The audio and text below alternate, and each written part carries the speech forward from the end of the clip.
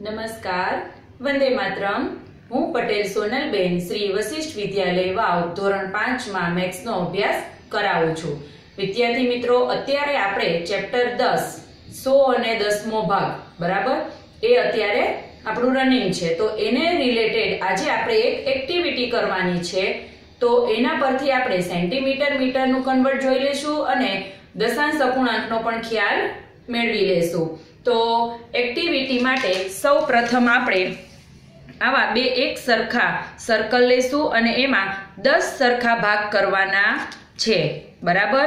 તો એક ભાગ હોય છે તો એકના છેદમાં દસ એટલે કે one upon ten two upon ten three upon ten four five six seven eight nine and ten ten upon ten આવી રીતે આપણે આમાં લખવાનું છે અને ટેન ઇક્વલ પાર્ટ્સ આપણે આમાં કરવાના છે. ત્યારબાદ બીજું જે સર્કલ છે, તેમાં આપણે zero point one two three four five six seven eight nine અને વન આવી રીતે આપણે પાર્ટ પાડવાના છે. અને જ્યાં સ્ટાર્ટિંગ પોઈન્ટ થાય છે, ત્યાંથી એક જ ભાગને આપણે કટ કરવાનો રહેશે અને આ ભાગને આપણે આમાં એટેચ કરવાનું રહેશે. તો વિદ્યાર્થી મિત્રો સરખા ઇક્વલ પાર્ટ આપણે કરવાના રહેશે. તો અહીંયા હવે આપણે જોઈએ વન બાય ટેન એટલે કે ટોટલ ટેન પાર્ટ્સ છે તેમાંથી વન તો એને આપણે કેવી રીતે લખાય? તે માહિતી મેળવવાની છે. બરાબર? તો એને આપણે ઝીરો પોઈન્ટ વન એટલે કે વન અપોન ટેન આવી રીતે લખવાનું હોય છે. ત્યારબાદ ઝીરો પોઈન્ટ ટુ છે. વિદ્યાર્થી મિત્રો, આપણે સ્કેલમાં પણ ટેન હોય છે કાપા, બરાબર? એટલે કે એક સેન્ટીમીટર થાય છે. તો જે એક કાપો હોય છે તેને વન બાય ટેન લખાય, પછી ટુ ઉપર જઈએ તો શું આવશે? Two by ten. ત્યારબાદ ઝીરો પોઈન્ટ થ્રી છે. તો એને આપણે શું લખાશે?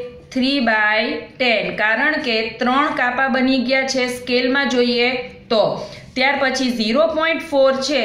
તો એને ફોર બાય ટેન લખાશે. એટલે કે one two three and four ત્યાર પછી છે ઝીરો પોઈન્ટ ફાઇવ તો એને લખાશે ફાઇવ અપોન ટેન કારણ કે તમે જોઈ શકો છો સ્કેલમાં ટેન ઇક્વલ પાર્ટ્સ હોય છે. તો એમાં અડધો પાર્ટ આપણો કમ્પ્લીટ થઈ જાય છે. ત્યારબાદ ઝીરો પોઈન્ટ સિક્સ છે. તો એને આપણે six by ten six six upon ten એવી રીતે લખીશું. કેમ? કારણ કે ટોટલ દસ છે અને એમાંથી છ ભાગ આપણે લીધા છે. ત્યાર પછી છે ઝીરો પોઈન્ટ સેવન.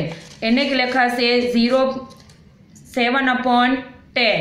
ત્યારબાદ zero point eight, zero point nine એટલે કે આઠના છેદમાં દસ, નવના છેદમાં દસ અને ત્યારબાદ એક કેવી રીતે આવે છે? આ સેન્ટીમીટર પણ એક પૂરું થાય છે. ત્યારે દસના છેદમાં દસ આવી રીતે આપણે આ પ્રવૃત્તિને કરી શકીએ છીએ. તો વિદ્યાર્થી મિત્રો, આના પરથી આપણે દસ સરખા ભાગ હોય, તેને કેવી રીતે લખાય અને એને દશાંશ અપૂર્ણાંકમાં કેવી રીતે લખાય, તે આપણે આના પ્રવૃત્તિના આધારે માહિતી આપણે મેળવી ચૂક્યા છીએ અને એક સેન્ટીમીટર બરાબર દસ એમએમ થાય છે.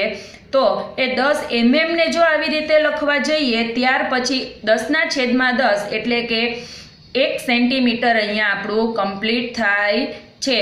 અને જોવો વિદ્યાર્થી મિત્રો, દસના છેદમાં દસ એટલે એક સેન્ટીમીટર પૂરું અને આ બધાને દશાંશ કહેવાશે. બરાબર? તો વિદ્યાર્થી મિત્રો, આ પ્રવૃત્તિ ખૂબ સારી એવી છે. તમને દશાંશ અપૂર્ણાંકની પણ માહિતી મેળવી છે આપણે અને સેન્ટીમીટર, મિલીમીટરનું રૂપાંતર પણ જે નવું છે તે આપણે અહીંયા માહિતીમાં એક્ટિવિટી દ્વારા આપણને માહિતી પૂરી પાડી છે અસ્તુ.